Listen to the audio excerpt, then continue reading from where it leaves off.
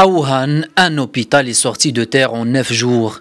Les travaux de cet hôpital temporaire ont été déclarés achevés dimanche par les autorités locales. L'établissement devrait ouvrir ses portes ce lundi pour répondre à l'épidémie de coronavirus. Tous les départements de l'hôpital sont bien préparés pour accueillir les patients. Nous sommes confiants et déterminés à appliquer les directives du président de la République de mobiliser les compétences et les ressources pour gagner la bataille contre l'épidémie. Construit grâce à l'assemblage de préfabriqués, l'établissement de 25 000 m2 compte un millier de lits. Cet hôpital permettra de désengorger les établissements de santé existants débordés par l'afflux de malades. Depuis le 24 janvier, 4000 ouvriers se sont relayés nuit et jour pour livrer l'établissement à temps.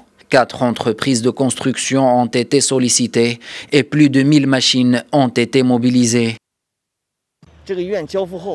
Le staff de l'hôpital est chevronné, notamment dans les domaines de la virologie et de la microbiologie. En plus d'aider à combattre la maladie et sensibiliser la population, le personnel travaillera également à optimiser et améliorer le processus de détection du virus.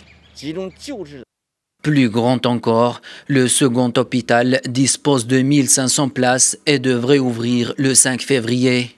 Les deux hôpitaux sont situés à une vingtaine de kilomètres au sud-ouest de Wuhan.